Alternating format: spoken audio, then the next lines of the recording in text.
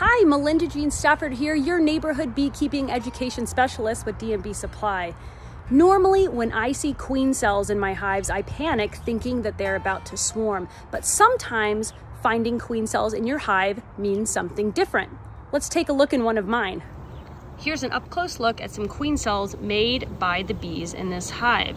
They likely made these to replace a queen who has died.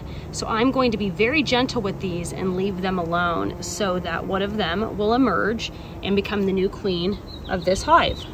So after further inspection of the hive, I found no queen no eggs indicating that a queen is there, and I found those supersedure queen cells indicating that they're making a new queen. So I'm gonna leave the hive alone for a couple of weeks, giving time for one of those new queens to emerge, mate, and start laying eggs.